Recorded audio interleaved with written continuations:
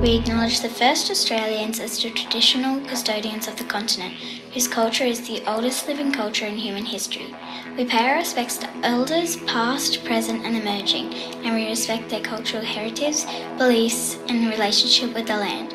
We extend our respect to all Aboriginal and Torres Strait Islander people here today. They share the memories, traditions, and hopes of the traditional ancestors with the new generations today and in the future. We would also like to thank them for looking after this land for thousands of years.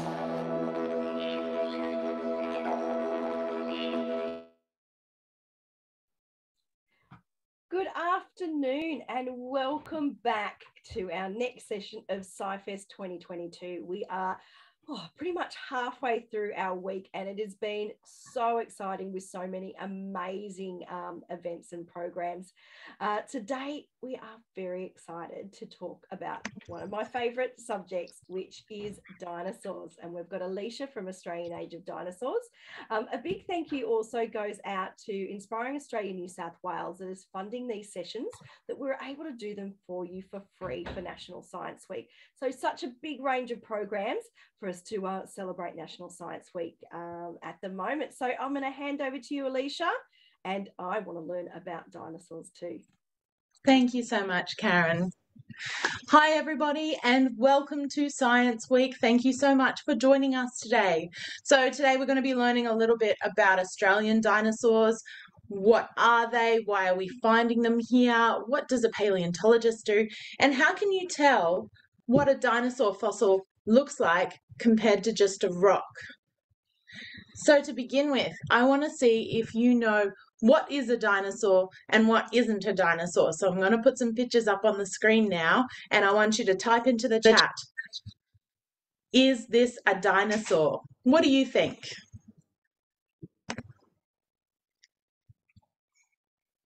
So it's got wings, it flies around. Is that one a dinosaur? Someone says no. Anyone else? No, yes, yes. All right, so it is a reptile and it was around at the same time as dinosaurs, but it's not actually a dinosaur. It's what we call a pterosaur, so a winged lizard. And as you can see on the screen there, it lived from about 228 to 66 million years ago. It's a flying reptile. So, what about the next one? Am I a dinosaur? What do you guys think? Let's check the chat. What are you guys saying? No, no. We've got a yes. All right, so this one here is not a dinosaur either. So it's also, it was also around at the same time as dinosaurs. So this one in particular lived about 80 million years ago. It's also a reptile, but it swam in the ocean. So it's not a dinosaur. Next one. Am I a dinosaur? What do we think? Looks like dinosaurs, doesn't it? Len says yes. Aiden says yes. Thank you guys, you're absolutely correct. So what you're looking at right there, right, right there was found here in Winton, and I've got a little replica here to show you guys. He lived about 95 million years ago, and we call him Banjo, and he definitely was a dinosaur. What about the next one? Am I a dinosaur? What do you think?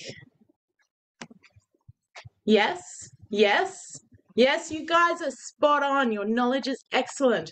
This is a dinosaur. So, this is Muttaburrasaurus that was discovered not very far from here.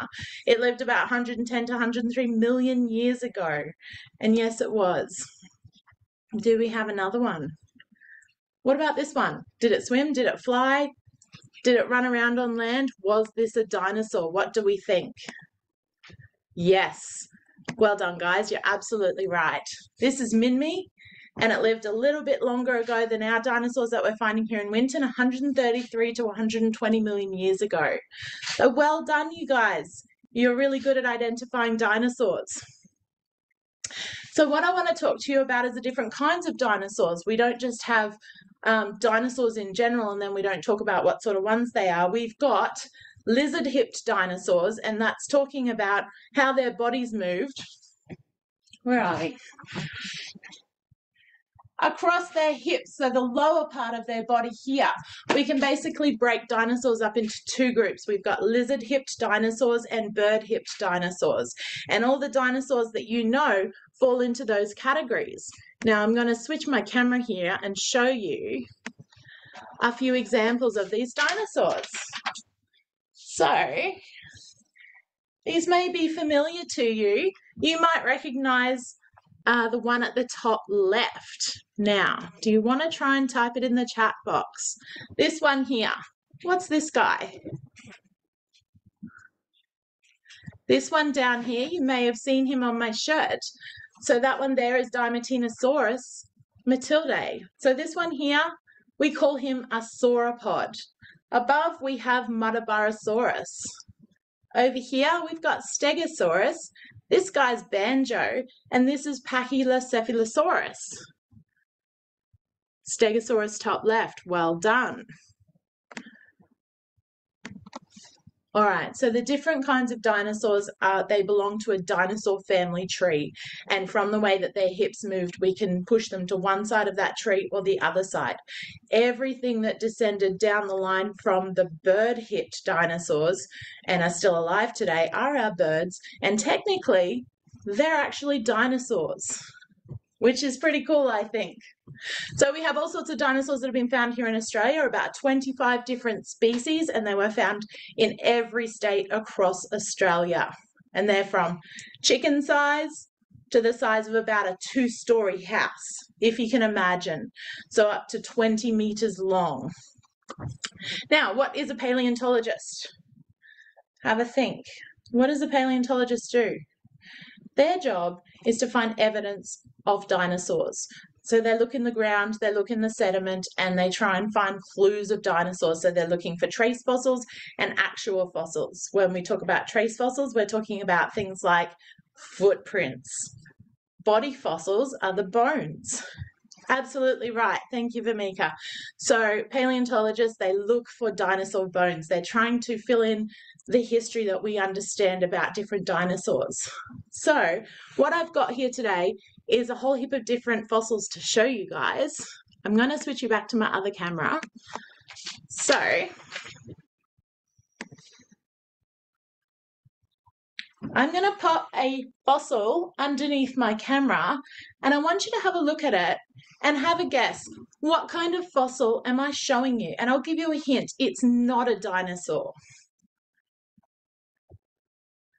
What do we think that one is?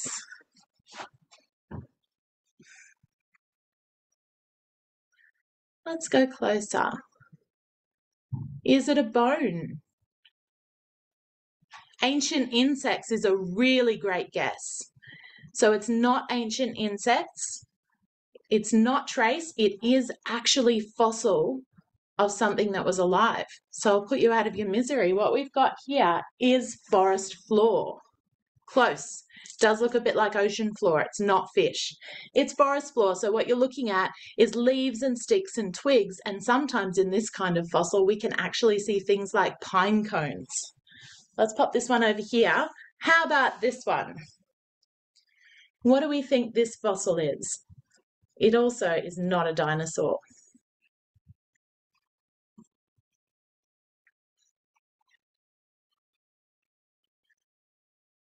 Any guesses, guys? Ancient tree, really, really good. This is what we call petrified wood. So you can actually see the texture of the bark on it. And when we turn it, you can see the internal structure of a tree. So all living things can be preserved as fossils, not just animals. So let's pop this one over here. Check this little guy out. What's that?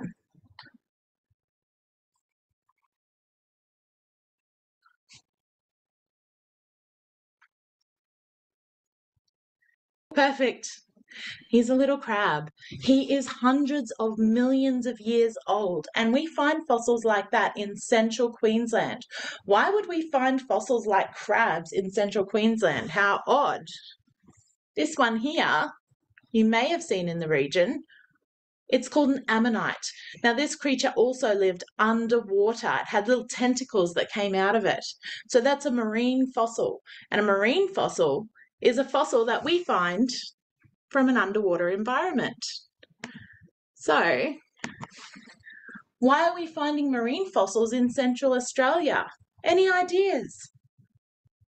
Well, the answer is central Queensland and into South Australia was once an inland ocean. There was actually five oceans that came across Australia and then retreated back again. And most of the dinosaurs that we find here in Winton, such as this sauropod, actually lived on the edge of the inland sea. So, these little guys that you can see here were preserved after their lives in the inland sea that was quite shallow and lovely and cool. Now, behind me, you can see this lovely picture. We've got black soil, okay? If you've seen this, you'll know that those cracks can sometimes go really, really deep.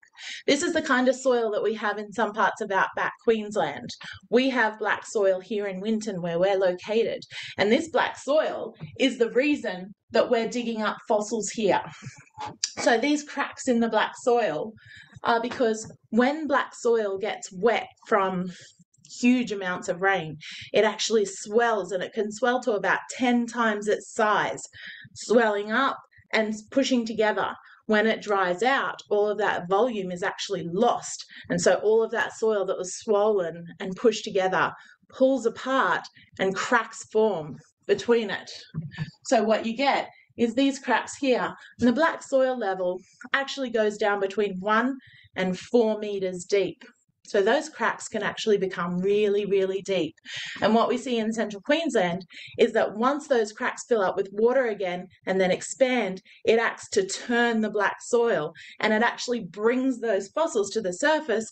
And that's why we found this guy. His fossils were pushed up over thousands of years of rainy season, dry season, rainy season, dry season, and this self-mulching, rotating black soil. So we're really, really lucky here in Winton that we've got this soil because we have a dinosaur bone bonanza. So fossilization. Do you guys understand why we find fossils? This is really heavy. So this is our petrified wood. It doesn't feel like a piece of wood anymore. It is very heavy. It's a stone now. However, it's kept the same shape and the same coloration, almost the same coloration, as the original piece of wood.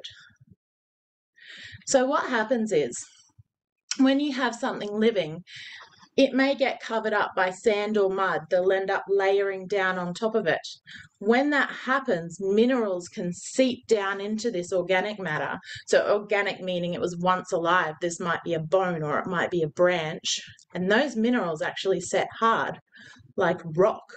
So when we dig up fossils, we're not actually usually digging up the original organic material. We're digging up material that is exactly the same shape, but it's now become mineralized and fossilized. So that's what we're finding. But as you can see from this one here, they don't always come back to us in one piece. This one here is from a sauropod. So our sauropod is this guy here. What? this side, our sauropod is this guy here. So his bones were meters long. You know, some of them were 10 centimeters across, but some of them were like two meters long. This looks like an internal bone piece from a much larger piece of bone. And when we found it, it's actually been fractured and broken by the black soil turning it and pulling it up little piece at a time. So what we can do is actually match these pieces together and stick them together before we start drilling away the bone that's attached to them so that we can understand what shape this dinosaur was. So I brought with me today this here. Does anybody know why I've got a fossil with a rubber band around it? So those of you that have been to a museum that has a working laboratory might have an idea that might give you a clue there.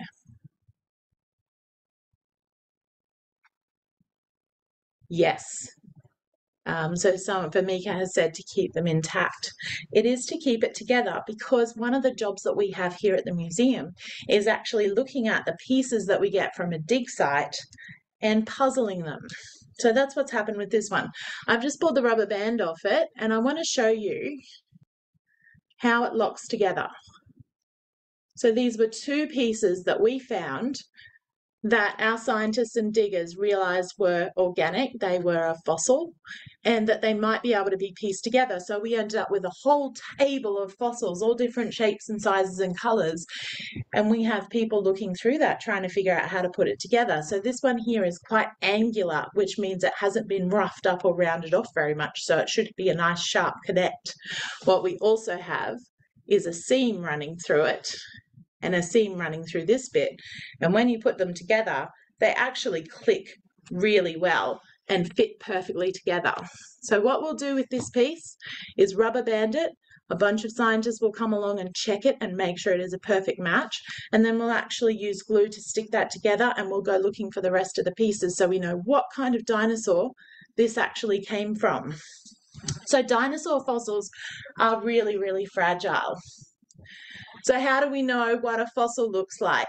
All right, those two pieces probably looked a lot like rock to you.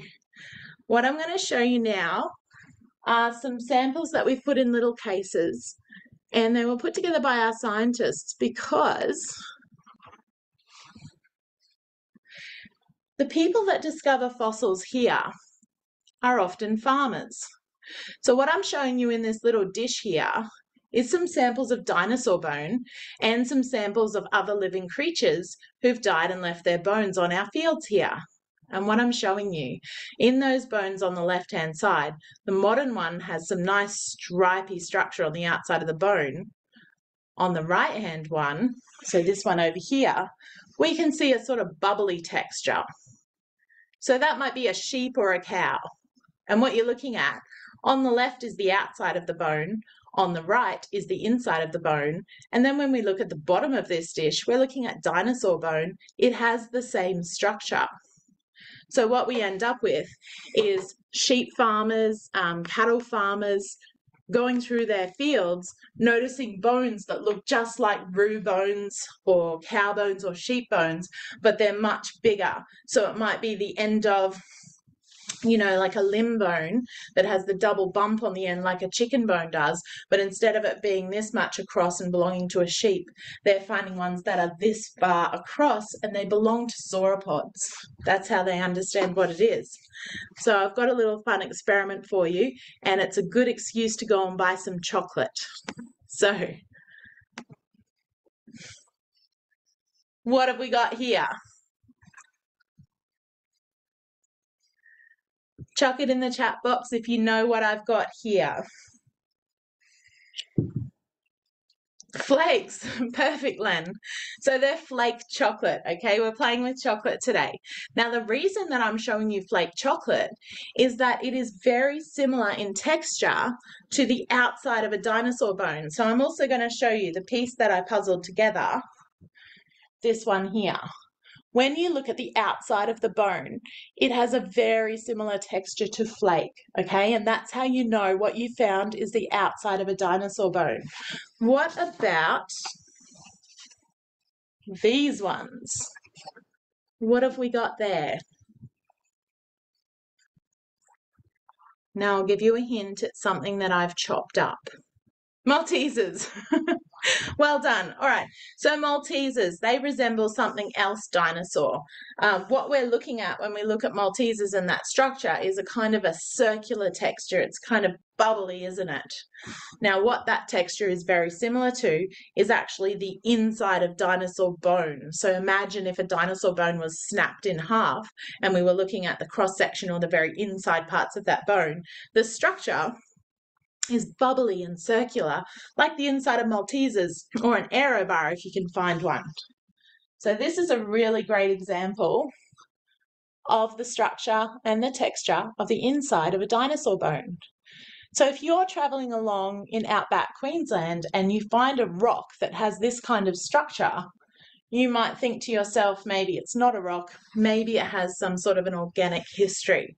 So these are some of the ways that we can actually tell what's a dinosaur bone and what's just a rock out there. But basically, let me come back to you. When we find a little piece of dinosaur bone, we mark that spot down and we send a whole team out and we excavate that whole site. And when we dig and we find some bones, we don't just keep those bones, we will bring back buckets and buckets and buckets of soil and debris that we may not have found anything in, just in case we leave something behind. And we'll bring that back to the museum and we'll actually sieve it and we'll go through it and we'll find every single little tiny piece of the puzzle so we can put it all back together again and understand dinosaurs the best we can. So there's one more thing I want to show you. Has anybody heard about paleontologists and archaeologists licking dinosaur bones.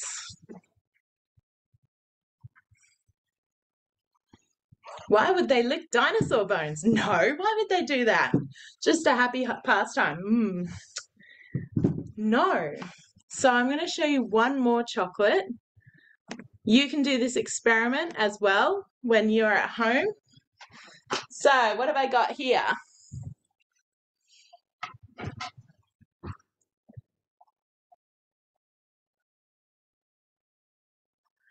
Not a flake. It's not Maltesers.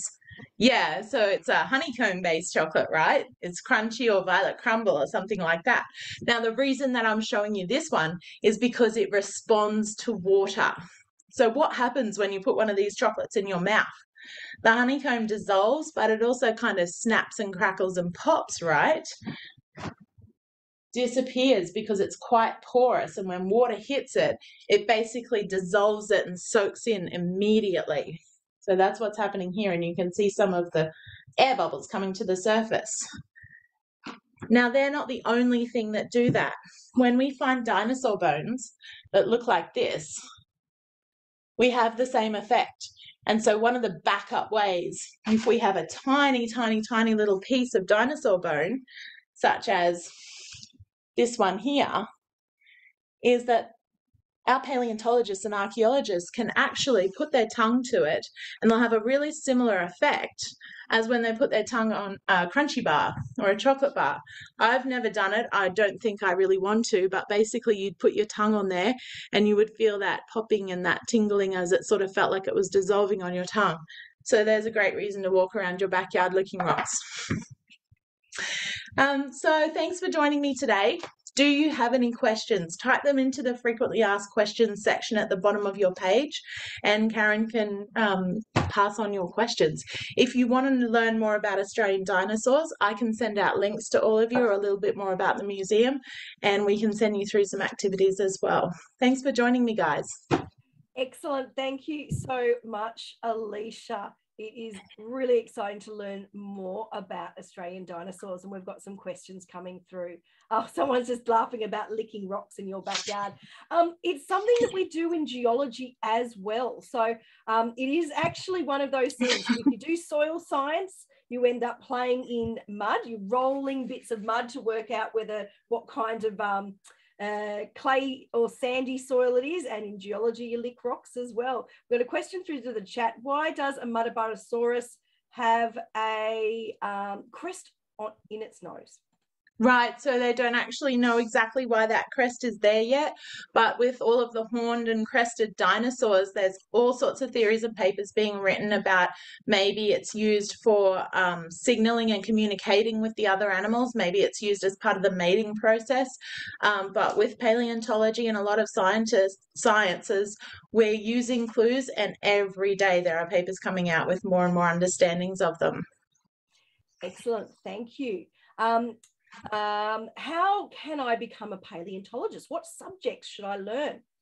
Okay, so to foster a career in paleontology, you basically have to love science. You've got to be able to keep with your passion and get really excited about something most of the paleontologists that I've met through the museum out here have a bit of a history in geology. So they will study earth sciences, they may study geology. Some of them study natural history, but the vast majority will go from high school and they'll go on to uni and they'll study some sort of applied science field. And then when they go on to do their masters, they will actually go somewhere where they're studying or digging or um, describing dinosaurs and they'll start writing papers. And from there, basically, all paleontologists find a favorite dinosaur or a favorite era and they'll take it and run with it and write as much as they can on the topic. But if you're still in primary school, keep experimenting with science. Stay engaged and take up every opportunity to go and see your museums and be involved in science activities. If you're in high school, take your science subjects and go on as many excursions as you can to learn about Australian science. Excellent idea. And you know, even if you are in remote um, areas across Australia, there is small museums everywhere throughout Australia, and they will absolutely have um, different fossils and rocks from your local area. Uh, we've got another question here. What is the smallest dinosaur you've found so far? Right. So I was at our working laboratory the other day and I was really, really lucky to be beside one of our preppers who usually drills away on our dinosaur bones. And she was going through sieving material. So similar to this sort of thing from leftover from a dig. And she was using tweezers to actually sort through one grain of sand and dirt at a time. And over the course of a few days, managed to find crocodile teeth from the Cretaceous period, so on the scale of 100 million years old, and they were about a millimeter across. Wow. So absolutely tiny. So you've always got to make sure re- that you're very, very careful. And yeah, as you said, going through the the leftover pieces that um, you know it might not always be the big things; it's the small things that help tell us that fossil story. Um, it is very exciting. Aiden's interested to know how you dug up Australovenator. Right. So we call him Banjo here. He's got a little nickname after Banjo Paterson. But basically, he was found alongside Matilda, so one of our sauropods that we find heaps of in this area, they were actually buried together. So we found the sauropod bones and kept digging. We're always digging around our sauropod remains, trying to find traces of other dinosaurs that might have been around in the area. And we do often find theropod teeth. So theropod, that's the kind of dinosaur that Banjo was. He was a predator and a carnivore. This little guy here, he was much smaller than Matilda, our sauropod. We don't really know for sure how the two of them ended up dying and buried together. But one theory is that Matilda, a sauropod, got her legs bogged in the mud, and this little guy came along and thought she was a tasty treat and tried to attack her, and maybe she tail whopped him. And he's died, she's remained stuck. They've both died in the mud together, and we were lucky enough to actually find them together. And the remains were quite complete. So they're really important specimens. Wow, that's a great story. Um, if you live in a city, where can you find fossils? Right. So, depending on what city you live in, you can go to your state or your capital city museum. So, most of your natural history museums will have fossils, and they won't just have dinosaur fossils, they'll have things like these ammonites. Um, and they'll be able to tell you where they were found, what the majority of those fossils um, are doing in that area, because we find a lot of marine fossils to the north of here. And it's to do with how the continental plate is actually tilted in this area and where that inland sea was. So, all of your local natural history museums, sometimes even your schools in the area will have a collection. You just need to ask. Fabulous. And, you know, over time as well, I travel around. I was actually really lucky to go up and um, visit Winton um, in the last school holidays. And, you know, when you go to museums, you can actually buy fossils as well. I actually bought a piece of fossilized wood um, when I was up there at the museum. Um, so, you know, when you do go out and about, you can buy fossils to help start building your own collection as well. Um, what's a couple, a couple of people are asking, what's the biggest dinosaur you've found? And someone was saying, is it Matilda? Matilda is probably not the biggest sauropod out there. Matilda would have been about 20 meters long. Um, Matilda is part of a branch of dinosaurs called sauropods, and they're the ones that you see with the really long neck and the small head, the long tail, and those thick legs to support them. Some of those that have been found across the world are up to 40 meters long. So you may need to actually map that out to really sort of get your head around how big that is. But basically, probably wider than the front of most of your house blocks is how big this one was. Oh, wow. Uh, another question was uh, Was the Muttaburrasaurus a, a quadruped or could it also run on two legs? It did run on two legs, we believe. Um, is really interesting in that Lots of little pieces of those fossils were found in the region, and people thought they were special and took them and kept them in their homes. And it wasn't until a couple of people that noted how important this one was, um, decades later, that everybody started putting together their fossil pieces and realized it was part of the same specimen. And they had this huge leap forward in science where they're actually able to assemble the skeleton of the Muttaburrasaurus and put it on display so that we could understand this really special species of dinosaur in the area. So um, science isn't just about discovery and learning, it's also about sharing and collaborating with people. And that leads us perfectly into our last question at the moment, which is do you share to different museums and send things on tour? Absolutely. Yep. So you may have heard um, that zoos do it to increase biodiversity. They share animals for breeding projects and things like that. Museums do it as well. So it's not just natural history museums, it's art museums as well there's no point in one collection sitting in the one place for too long. Basically, it'll become stagnant and everybody in the area will have already seen it. Or people coming to your muse- museum might only get this tiny little view of one particular era or area of dinosaur fossils. So, what we do is we share samples. We've got heaps of sauropod fossils here. So we can actually afford to send them out and get collections from other places throughout the world so that we can have them here on display and we can say to our guests, these are the dinosaurs that lived around 100 million years ago, but come and look over here in a different area in the world. 140 million years ago, we had these guys getting around. So, absolutely, we try and share and collaborate with our collections as well. Excellent. And a couple final questions. What do you think the tiny crocodile uh, teeth came from? Do you do you know, or would you think it was a juvenile? So it definitely would have been a juvenile. Um, to be as small, for those teeth to be as small as they were, it would have been a baby crocodile. But we had lots of crocodiles in the same area that our sauropods were getting around when that inland sea was quite shallow. We had crocodiles and we had turtles and all sorts of things. So we do tend to find lots of crocodile teeth in the area. Um, we're always excited when we come across them, though. That's excellent. And last um, question Can you buy fossils online? Um, I know that you um, have an online shop with Australian Age of Dinosaurs as well. Maybe we can share the link. Absolutely. We'll share the link afterwards. So we've got all sorts of things in our shop, lots of t-shirts and science activities and things like that, but we do also sell some dinosaur fossils through our shop. Um, from, as Karen was saying, petrified wood through to ammonites through to actual dinosaur fossils. Excellent. Guys, thank you so much for those fabulous questions. And thank you for joining us today for SciFest 2022. Alicia, I've learned so much today as well about different dinosaurs and um, about fossils. So big round of applause, everyone. Thank you to Alicia. Thank you for getting involved in National Science Week. Uh, remember, there is some great programs still coming up for day four and five. Um, we'll share the link when we send out the recording later on um, this evening. So thanks for joining us again, and I look forward to seeing you for more SciFest 2022. See you Thank later. You. Bye.